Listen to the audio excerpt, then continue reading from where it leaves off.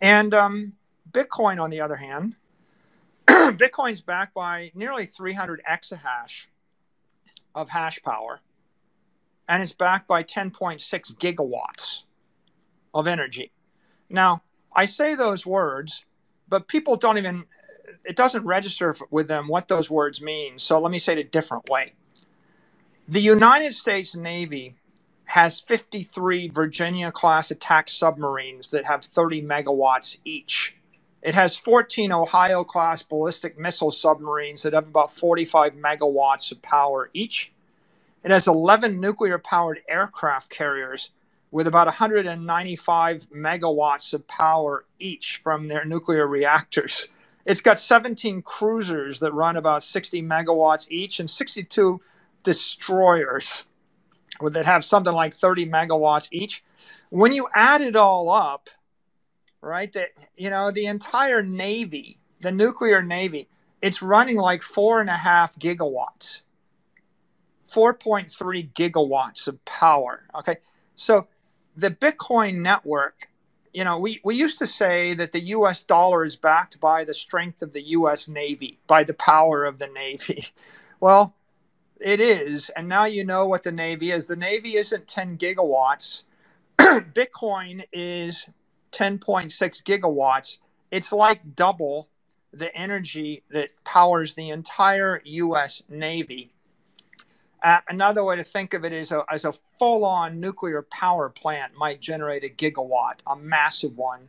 It's like 10 and a half full on nuclear power plants running all out, but it's better because it's distributed everywhere in the grid and you can't identify where that energy it's more distributed than the navy it's more distributed than the nuclear power plants you can't stop it and when you combine that which is which is a wall of energy with another idea, which is 300 exahash, and, and that's computing power.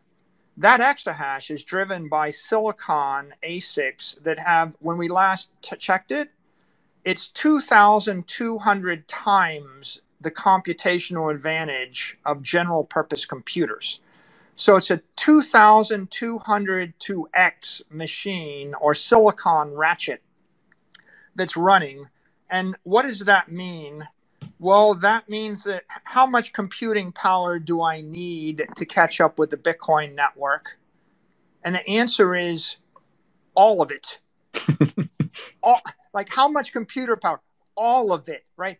If you took all of the computing power of Microsoft and Azure and AWS and Google and Facebook and everything, all of it, you're still not catching up, right? So what we've established is, by by the way, how how how much navy do you need to catch up with Bitcoin? All of it, all the navies in the world maybe are starting to approach the power of Bitcoin, and then all of the computing power of the world isn't ten percent of the power of Bitcoin. Wouldn't dent it and then when you look at the cryptos, you know that uh, that attempt to compete, you've got a handful of proof of stake networks.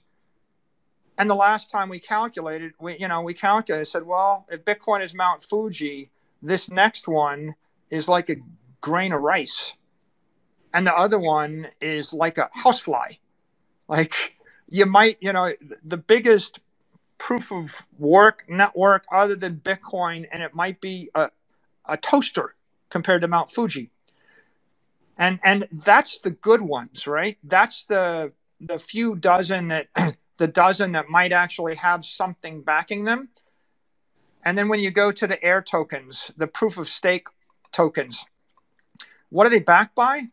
They're backed by three people, if you're lucky, eight people, right? Two people. FTX was and Serum and uh, SRM and FTT was backed by one person, one person's whim, and and so this is going to be such a teachable moment, right? So vivid when people say, you know, what is what is uh, responsible? Well. I want all the computer power in the world and all of the energy that the US Navy could muster, and I want it to be distributed across millions of nodes to defend my money. That's what Bitcoin is. And what is the rest of crypto? The rest of crypto is what Sam Bankman Fried was and